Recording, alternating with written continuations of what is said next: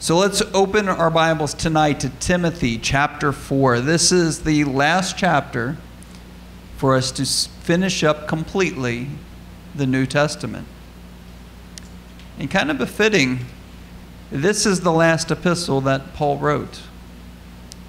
And we've kind of focused on the fact that this is Paul's last will and testament.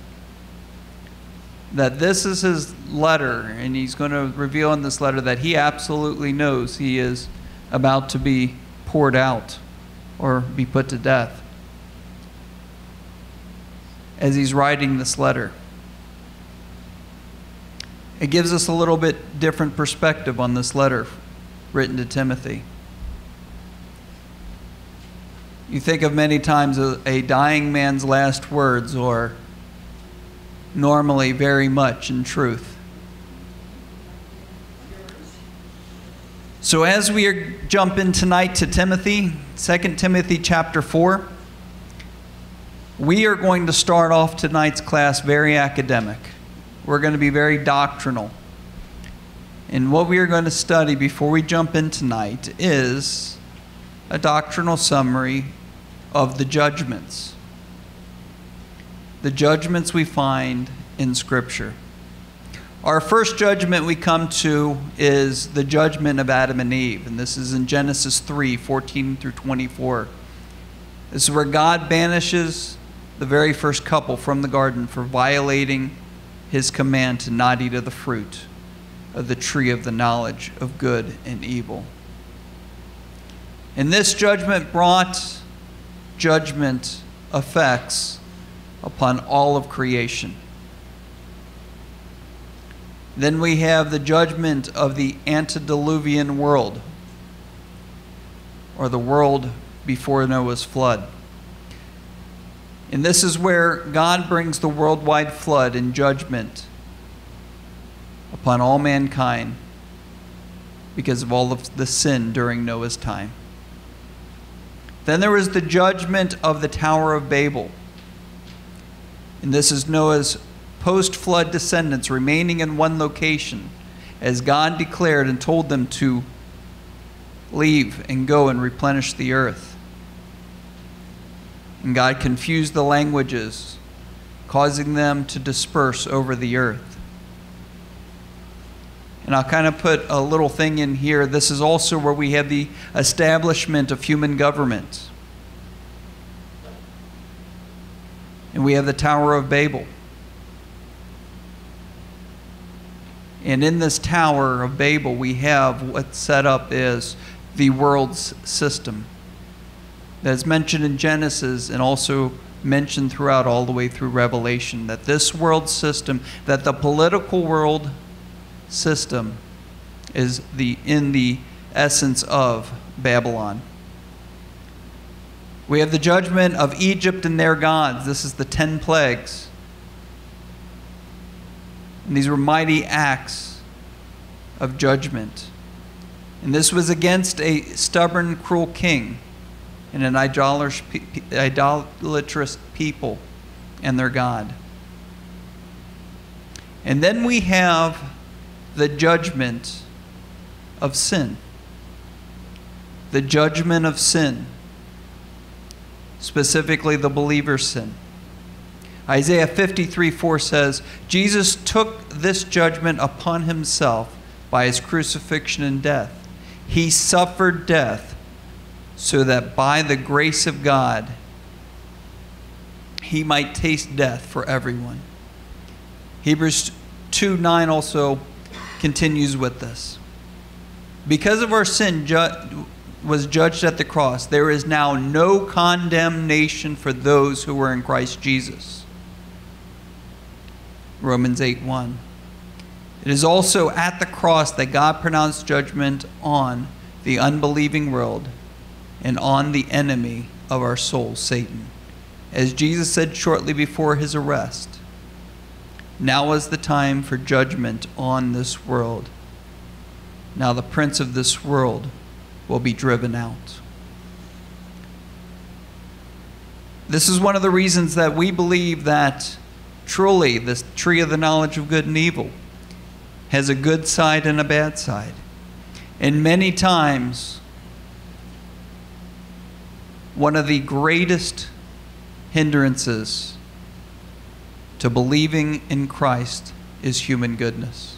One of the greatest sins, and you could even put this as one of the greatest sins because it leads to the sin of unbelief, which is the greatest sin, is the belief that I somehow can merit God's favor. Then we come to the judgments that occur during the church age. And there are two judgments that happen during the church age.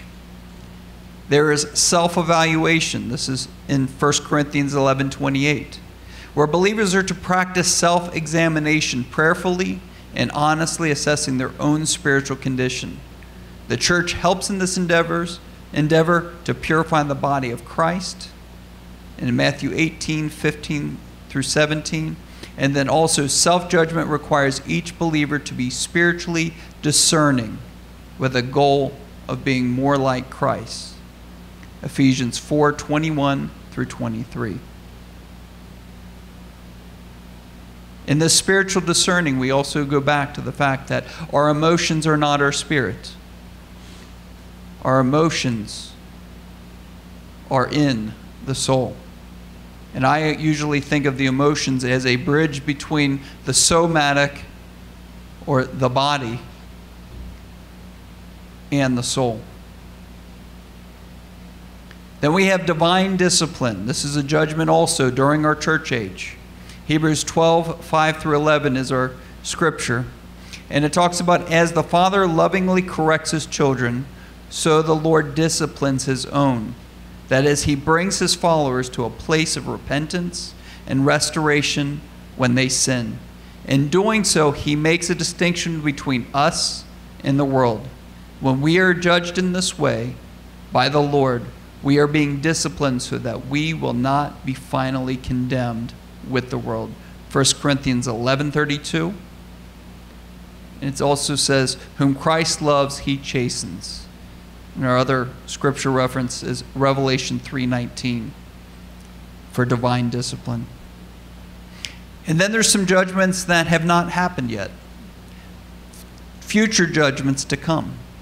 There will be the judgment of the tribulation, Revelation 6 through 16. These terrible judgments are pictured as seven seals opened, seven trumpets blown, seven bowls poured out. God's judgment against the wicked will leave no doubts as to his wrath against sin. Besides punishing sin, these judgments will have an effect of bringing the nation of Israel to repentance. We truly do believe that all God's promises will be fulfilled and that God still has a plan for the nation of Israel. Another future judgment coming is the judgment seat of Christ which we also call the Bema Seat judgment. This is mentioned in 2 Corinthians 5:10. Resurrected, resurrected and raptured believers will in heaven will be judged for their works. Sin is not the view at this judgment, as that was paid for by Christ, but only faithful only faithfulness in Christian service. Selfish works or those done with wrong motives will be burned up as wood, hay, and stubble. In works of lasting value, the Lord uh, value to the Lord will survive: the gold, the silver, the precious stones. Rewards which the Bible calls crowns, Revelation 3:11, will be given by the one who is not unjust. He will not forget your works and the love you have shown him. Hebrews 6 10. There's also a coming judgment of the nations. Matthew 25 31 through 46. After the tribulation, the Lord will sit in judgment over the Gentile nations. They will be judged according to their treatment of Israel during the tribulation. This judgment is also called the judgment of the sheep and the goats because of the imagery Jesus used on the Olivet Discourse. Those who showed faith in God by treating Israel favorably, giving them aid and comfort during the tribulation, are the sheep. who will enter in the millennial kingdom. Those who followed the Antichrist and led Antichrist's lead and persecuted Israel are the goats who will be consigned to hell. There will also be a judgment of angels. 1 Corinthians 6 2 through 3. Paul says that Christians will judge angels. Anybody have any idea when this will happen? Neither do I. We don't really know exactly the ramifications about this, other than we know that we are told that we will judge angels. Don't know. More than likely, I think it's going to happen after that. We aren't exactly. Go ahead. In, in the millennial reign, isn't Jesus going to come and set up his kingdom with his bride? Yes, In the millennial reign. Remember, the devil's locked away. For a thousand years. Uh.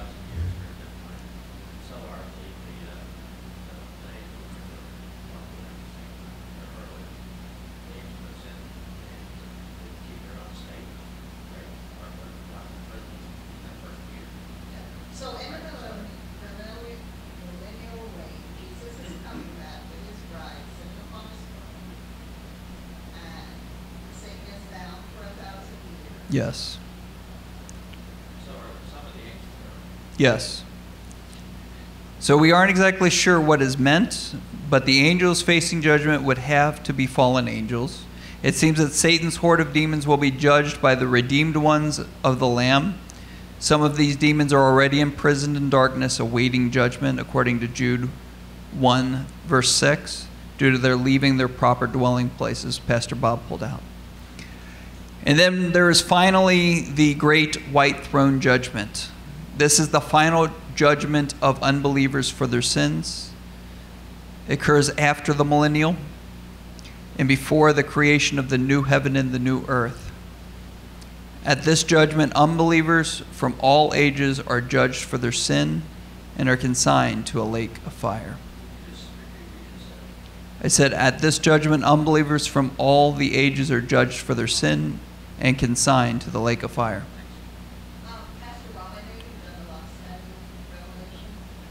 Um, now, okay, so I got this far, I don't think they said it was clear to me about the millennial reign as it is tonight, with Christ coming with his bride, and Satan is bound for a thousand years. When does all the elements burn out, when does the new heaven and the new, new earth come? And the Jerusalem coming down out of heaven, when does that happen? At the end of the millennium. Right, right. Yes. In the millennium, the earth will be destroyed, so to speak. Everything will be burned up to erase every trace of sin. Every trace of sin everywhere. Okay? And, right, the eternal kingdom will be set up. Right? After that. That's when the New Jerusalem, even the elements of Peter, that Peter says would be burned up, then the new, he- the New Jerusalem comes down out of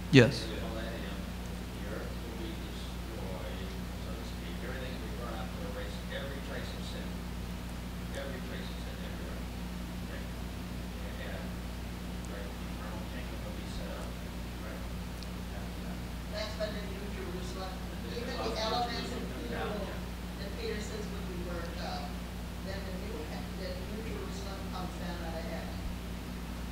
Yes. Is this after the rapture? Oh, yeah. This is all after, the rapture. So the, the great white, white throne judgment is the final judgment. This is where, as um, it says, the second death occurs. Only for unbelievers. Only for unbelievers And when does that happen? at the end of the millennial reign. Correct. So let's open and let's start tonight in 2 Timothy 4. I charge you in the presence of God and of Christ Jesus, who is to judge the living and the dead, and by the appearing and his kingdom. Preach the word, be ready in season, out of season, rebuke, rebuke, sorry, reprove, rebuke, and exhort with complete patience and teaching. So Paul's giving a charge here. He's setting Timothy on a mission. And I think honestly this is for really written towards pastors, but everyone has their call in which they need to take this charge. So he's giving marching orders. As Paul is pretty much turning over at least a portion of his ministry to Timothy, that in Ephesus. So he's setting this direction for Timothy and pastors to follow. And it's a pretty simple message preach the word. Preach the word. There's only one thing as eh, pastors that we have, that we have to say, and there's no other message. I can't remember who did this homiletics class, but I take taken a homiletics class, and the pastor said that was leading this, there is biblical expository preaching, and then there's not preaching. That if we are not preaching the word, if what we are doing is not pulling out from the word, anything that we're giving to the congregation is meaningless. It is only preaching the word, it's all that we have as a message for the body. So preach the word. Paul also mentions in why I went into the judgments today that there will be the dead and living judged. And then there will also be a judgment at his appearing, which is what we believe is the rapture, and also another one at his kingdom. Then he goes on and he says, preaching in season and out of season. This is definitely a poetic phrase that Paul is using. And you have the picture of here of preaching during the good times in life and then preaching also during the storms of life. When there is convenience and there is also struggles. But truly, this preach the word means to always preach it whether it's convenient or whether it's not, whether it's good, whether it's bad, preaching the word at all times. And our preaching of the word should do three things it should reprove, which is to refine, to rebuke or make correction, and to exhort or give encouragement. But as pastors, as we do this reproving and rebuking and exhorting, it has to truly come from a heart of patience. Because teaching, learning, the development of the believer, bringing to maturity takes time. If you've raised children, and Dana and I have raised three, it takes a long time when that child is born to raise them up takes a very, very long time. And as pastors, we a lot of times might feel the need to reprove and rebuke it. And then when they don't take our advice or our correction, sometimes we might be a little upset. But it takes patience. And this is the preparation of the pastor as we're given it.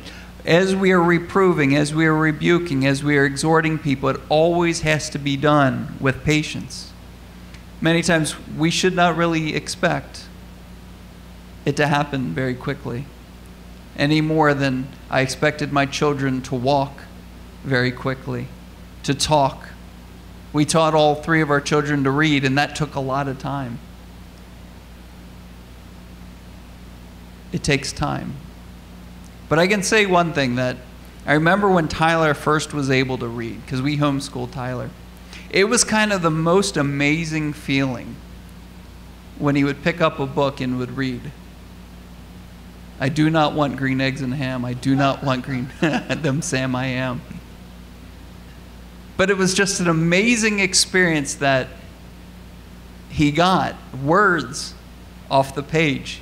And I don't think Green Eggs and Ham was his first book, but Dana might be able to refresh my memory of what his first book was. But it was an amazing thing, and we should see that as pastors. When we're investing into our congregation and they finally come up to and say, I do not want green eggs and ham. I do not want them, Sam, I am. It should bring that same kind of feeling to us that we've invested something into them, that we've exhorted, that we've reproved, that we've corrected. And all of a sudden now we are seeing a little glimmer of maturity happening in their lives. As we preach the word, we really see the Great Commission that Jesus gave to us is two phased. There are two messages that we preach out of the word. We preach the message of eternal life, and we also preach the message of abundant life. What Pastor Bob talked about, sanctification. We see those as abundant life principles for the believers. Verse 3 For the time is coming when people will not endure sound teaching, but have itching ears. They will accumulate for themselves teachers to suit their own passions, and will turn away from listening to the truth and wander off into myths. I don't think that Paul is really just talking about biblical teaching. In the time of Timothy and Paul, there were a lot of great Greek and Roman thinkers, people that would reason and debate, and math grew a lot during this time, and the scientific method was just at its infant state, and people were embracing actually reasoning through things. And I don't really think that Paul's talking about the myths of the Roman deities and the Greek deities here we like to think that the Romans and the Greeks thought these were just stories like we have of Superman and Wonder Woman and Batman. But you read some of the Greek literature, like uh, uh, Socrates was, was uh, condemned to death because he pervert, was leading the children away from the Greco gods. And I don't think those were really myths that they wrote about back then. It was truly their heartfelt religion, for lack of better words. I really believe that the myths that Paul is talking about here is fantasy. It is fantasy. And I really believe that in the last days, people will come to a point, and I think that we're even seeing a lot of this today. They don't even care to reason through things, but they would much rather live in a metaverse or an Animal Crossing or in any kind of these fantasy worlds. And they will just completely depart from even any kind of thinking or reasoning most of all the Word of God. But even in what we might call secular sciences, they will even reject those for a life of fantasy. Because sound reasoning, teaching, it's hard. It takes a lot of work to understand. And living in a world of fantasy is so easy. Verse 5 as for you, always be sober minded, enduring, endure suffering, do the work of an evangelist, fulfill your ministry. We are made aware of what the world will become a world of fantasy, lacking reason, a world of what I feel, what my feelings are, will have more control than what actually is. We are aware that this is what's going to happen in the world. We even see a lot of it happening today. But as believers, as Paul says, but as for you, we use reason. We accept the struggle. We do our work and we fulfill our mission. This is what he says. Be sober minded, enduring suffering, do the work of an evangelist, fulfill your ministry regardless of how fantasy land the world looks around us, we are aware. But as for you, as for you, carry on. Use your reason. Accept the struggle. Do your work and fulfill your mission. These are our tactics to live by. We use reason, we accept struggle, we do our work, we fulfill our mission, no matter how crazy public opinion becomes. We continue on in these. We use our reason, accept the struggle. We do our work and we fulfill the mission that God has put us on. Verse 6 For I am already being poured out as a drink offering, and the time of my departure has come. I have fought the good fight, I have finished the race, I have kept the faith. Henceforth, there is laid up for me a, the crown of righteousness, which the Lord, the righteous judge, will award to me on that day. And not only to me, but also to all who have loved his appearing.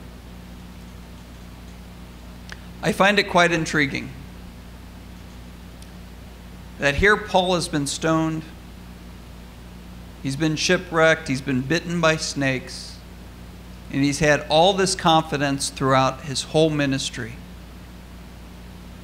Yet he knows this time in prison, because he'd already been in prison before, this time is the final round. And when you look at the life of Peter, Peter also wrote, knowing that his time had come. They had both escaped death multiple times. And I can really only truly attribute, attribute their knowledge to knowing this is their time by being attuned to the Spirit. Knowing spiritually that this is the time. Also, Paul also speaks again of the appearing of Christ. The appearing is the rapture. And then it's followed by the judgment of believers. A judgment not of eternal life, but what I would call a judgment of our abundant life. We call it the Bema Seat judgment 1 Corinthians 3:11 No one can lay a foundation other than that which is laid which is Christ Jesus Christ Now if anyone builds on the foundation with gold silver precious stones wood hay or straw each one's work will become manifest for the day will disclose it. Because it will be revealed by fire. And the fire will test what sort of work each one has done. If the work that anyone has built on the foundation survives, he will receive a reward. If anyone's work is burned up, he will suffer loss, though he himself will be saved, but only as through fire. We've talked many times, and I think it was Pastor Love that had brought out about the wood, hay, stubble gold, silver, precious stones. That the wood is the things in our lives that have taken a long time. Might be my career. If I went out to, to grow wood, I would plant a acorn in the ground. It would take a lifetime to see that tree sprout and become a tree. Those long term things in our lives are our wood my career.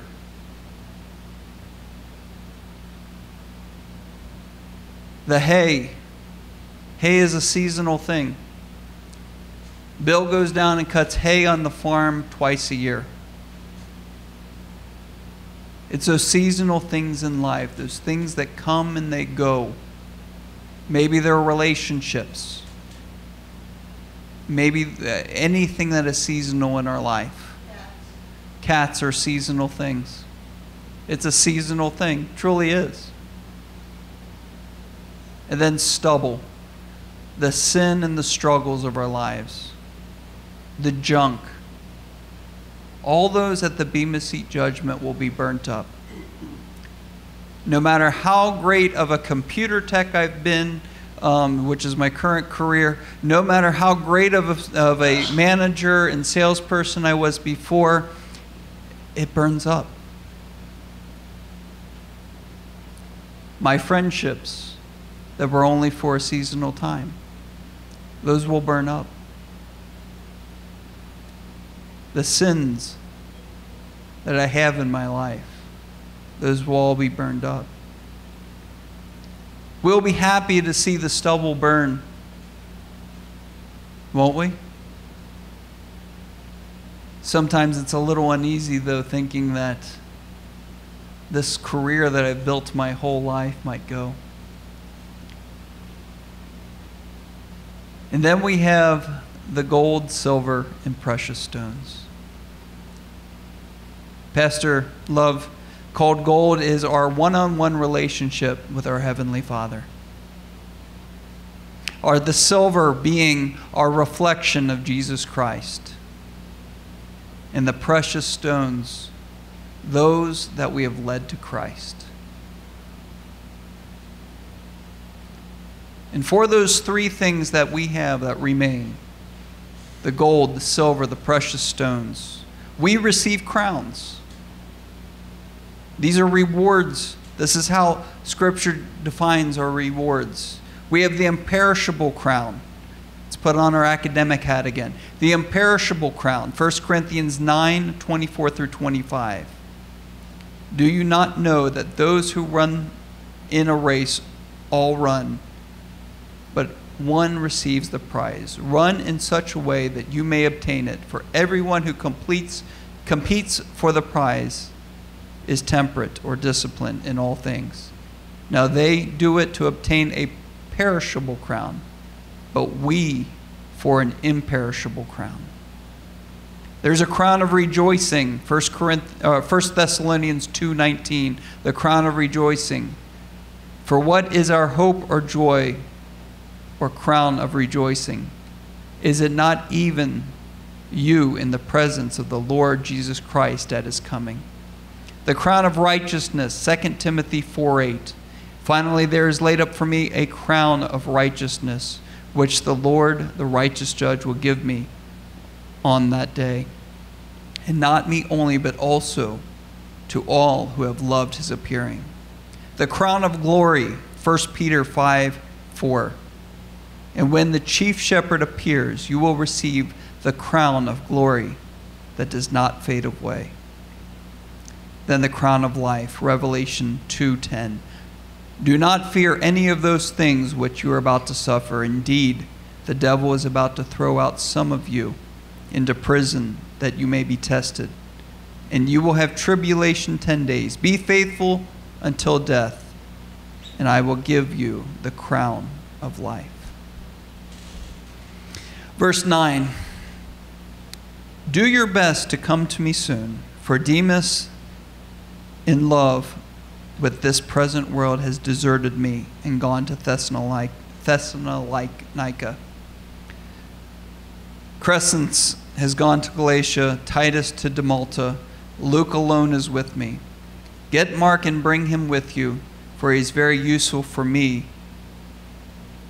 useful to me for ministry.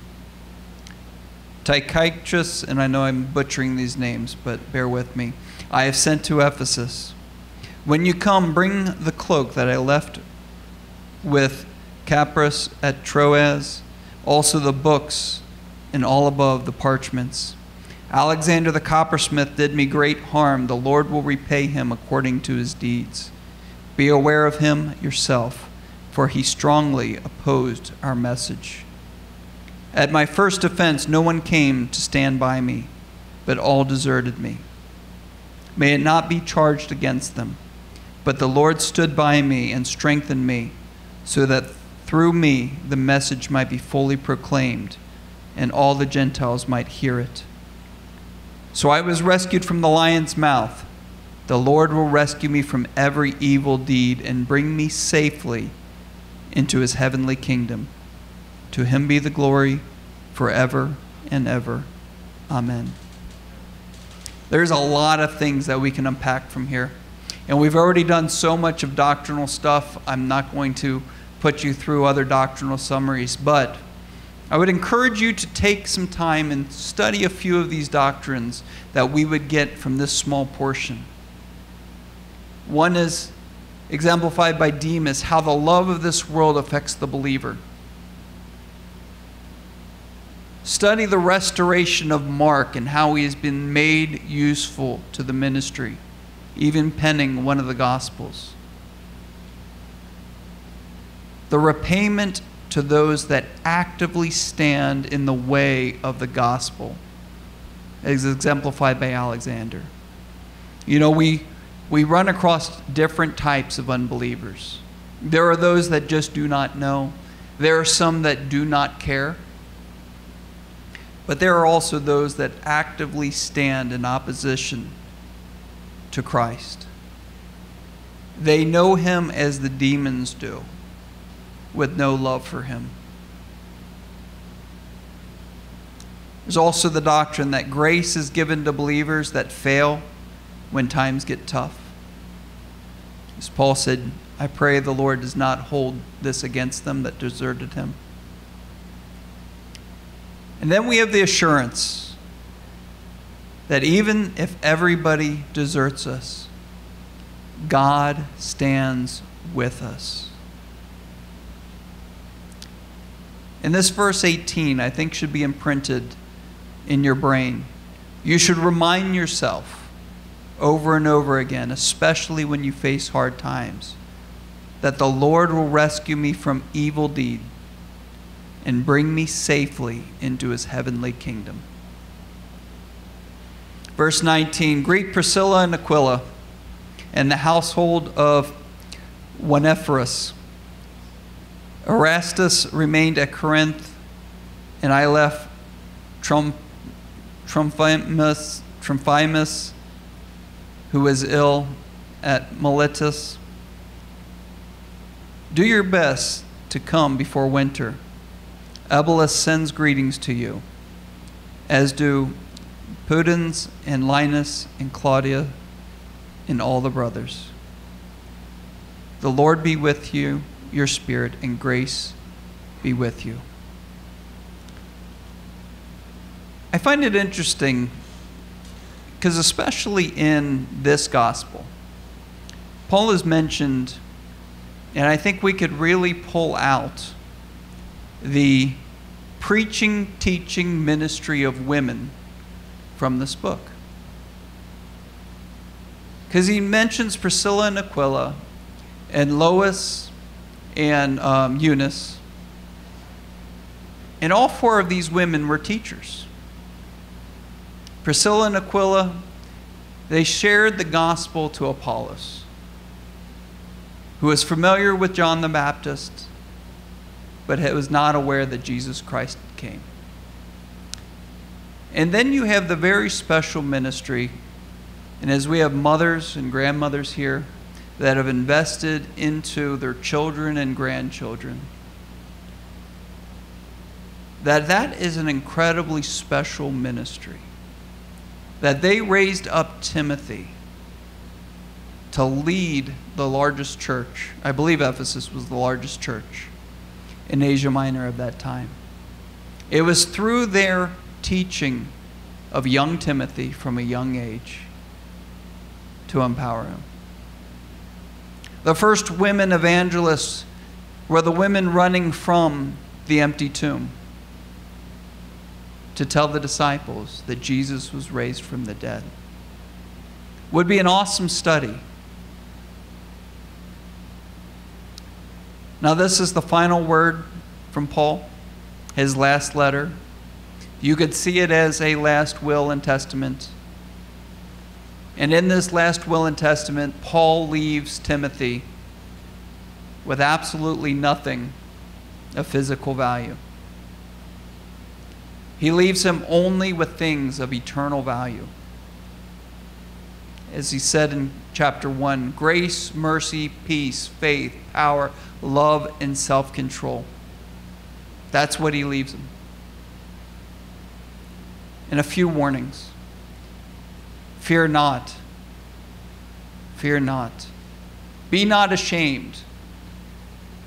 And also expect suffering in this life.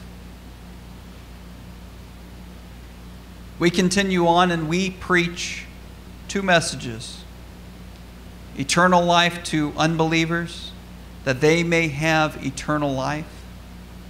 And then we preach of an abundant life for the believers a message of sanctification. As believers, we are not judged for sin. Sin was judged upon Jesus Christ. He was judged for our sins. The judgment for eternal life has already happened. But as believers, we also will be judged for our abundant life. As we live in abundant life principles, we gain the rewards, the crowns. We also gain rewards in this life. Because the abundant life is more than just rewards at the end of this life. It is all these things the grace, the mercy, the peace, the faith, the self control, the love that we live in this life. Father, we thank you, Lord, for your word. Apply these things to our hearts. In Jesus' name, amen.